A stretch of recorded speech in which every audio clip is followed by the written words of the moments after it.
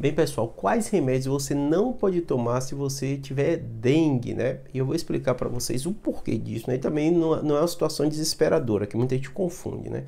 O que que acontece? O grande problema da dengue não é a dengue clássica, né? O que a gente tem visto, né? 600 mil casos aqui no Brasil. É justamente a dengue hemorrágica.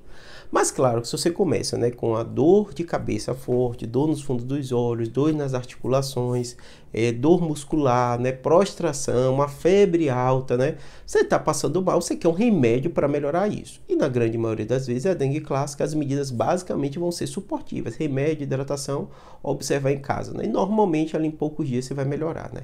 Só que existe uma minoria desses pacientes que tem e começam dessa mesma forma parecida que desenvolvem a dengue hemorrágica. Eu estou explicando só para vocês entenderem a lógica de não usar alguns remédios. Né?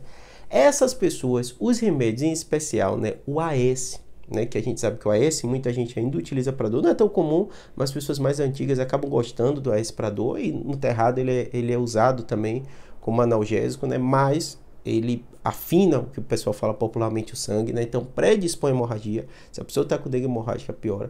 Os anti-inflamatórios, aí inclui até ibuprofeno, né? De clofenaco, de sódio, tem uma playlist só aqui de, de medicações, em especial os anti-inflamatórios. Se tiver dúvida quais são os anti-inflamatórios, né? Tomar.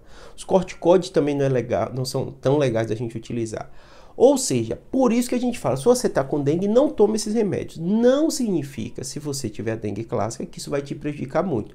Mas como a gente sabe que em orientação em saúde a gente tem que ser muito incisivo, porque a pessoa não vai saber se ela está com dengue hemorrágico ou não, a gente já fala, não use nesses casos. Júlio, então o que é que eu vou usar? Os remédios clássicos mais simples, paracetamol e edipirona.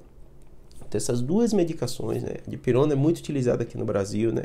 Um remédio seguro, eficaz, né? Que não dá nenhum tipo de problema se você tem, até que tenha dengue hemorrágica, a gente prescreve, não tem problema nenhum quanto a isso, tá bom? A lógica é basicamente essa. Por que eu tô explicando isso? Porque às vezes vem gente aqui no canal desesperado. Ah, eu não sabia que era dengue e tomei um, um anti-inflamatório. Eu vou morrer, eu vou ter dengue hemorrágica por isso? Não, não vá. Grande maioria das vezes isso não vai te causar nenhum problema maior, mas evite tomar. Você tomou uma vez, é, não, não, se preocupe tanto com isso, observe, se notar algum sangramento, procura o médico, hemorragia, se ficar mais grave, né? Mas na maioria das vezes, né, não vai ser, vai ser a dengue clássica, não vai te prejudicar muito. Mas fique atento a isso. Começou sintoma hoje em dia no Brasil, febre, dor, não arrisca. Já dá os remédios de pirona, o paracetamol que você, se for dengue, se for covid, o que é que seja, você está bem tratado sem nenhuma consequência mais, tá bom? Espero que tenha ajudado. Qualquer dúvida, deixa aqui que eu sei que esse tema a gente vai ouvir falar muito nas próximas semanas, que é dengue. Abraço.